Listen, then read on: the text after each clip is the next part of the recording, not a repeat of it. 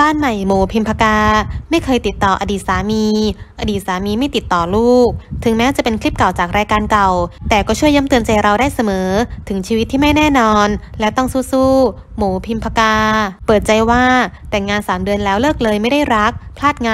พอแต่งงานช่วง 3 เดือนที่รู้จักนิสัยเขา มันไม่ใช่ ก็เลยไปดีกว่า เขา พ่อของนายนภัสเป็นฝ่ายหลงรักเรามากกว่า ตอนนั้นชื่อเสียงเรากำลังสุดโต่งมากจริง ๆ หมูทำงาน 7 วัน เปิดไปไหนก็มีแต่หน้าพิมพกา3 ปีเต็มๆเป็นอย่างนี้มาตลอด ชีวิตพิมพกาพุ่งสุดๆ หมูก็เป็นคนหนึ่งที่พลาด เราก็พลาดไปค่ะ ตอนนั้นเขาคุกเข่าขอแต่งงานเลย เขาจะดูแลเรา หมูคิดว่าเออเอออยู่ไปก็คงรักเอง แต่ปรากฏว่าวันที่หมูแต่งงาน หมูท้องสี่เดือน เป็นข่าวใหญ่เลย คือความรู้สึกของหมู อยากจัดงานแต่งงานมาเพื่อให้สังคมรับรู้ว่า ฉันมีลูก ไม่ใช่เพื่อให้รู้ว่าฉันมีสามีเป็นตัวเป็นตน แต่งงานเพื่อให้สังคมยอมรับลูก ตอนนั้นหมูมีทางเลือกสองทาง คือ 1. หนีไปคลอดต่างประเทศ กับ 2 คือแต่งงานเลิกกันไม่ค่อยดีเท่าไหร่ มันเหมือนทะเลาะกันนิดนึง เออเราเลิกกัน แล้วเราก็ขับรถหนีเขาไปเลย หมูไปอยู่พัทยาเช่าคอนโดไว้ จนคลอดน้องอยู่คนเดียว ตอนนั้นเราก็คิดเองเออเองคนเดียวหมด ไม่มีใครที่จะปรึกษา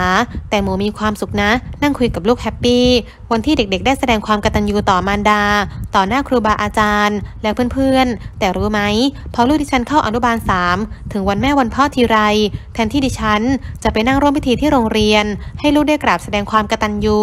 ดิฉันมักจะชวนลูกโดดเรียนค่ะ ใช่ค่ะคุณฟังไม่ผิด โดดเรียน พาเขาไปนั่งรถไฟเที่ยว ดูหนังบ้างเดินห้างบ้าง happy มากค่ะ หากต้องการแสดงความรักความกตัญญูก็มากราบแม่ที่บ้านสองคนก็พอย้อนกลับไปเมื่อ 20 ปีก่อน เหตุเกิดจากงานวันพ่อ ก็ลูกดิฉันไม่มีพ่อนี่คะ แม่คนนี้แหละ เป็นได้ทั้งพ่อและแม่